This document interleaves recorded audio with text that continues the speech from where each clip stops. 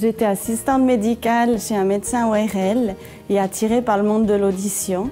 J'ai proposé ma candidature à Amplifon qui me paraissait avoir plus de professionnalisme que ses concurrents.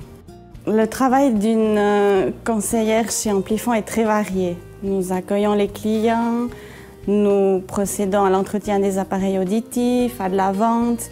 Il y a aussi du secrétariat et la gestion du stock. Les journées sont très remplies.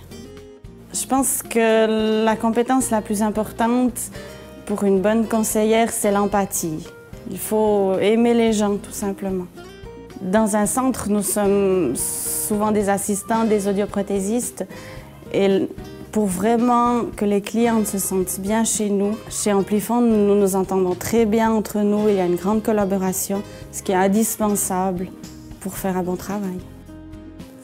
Si nous sommes motivés et que nous avons envie de progresser, d'évaluer dans la société, c'est vrai qu'Amplifon nous propose des nouveaux projets. Personnellement, j'ai participé à la création d'une marche à suivre pour mes collègues et depuis peu, je suis active dans la formation continue en Suisse romande. Chez Amplifon, nous sommes une grande famille où chaque collaborateur a son importance et ce qui donne une excellente ambiance de travail et je m'y sens vraiment bien.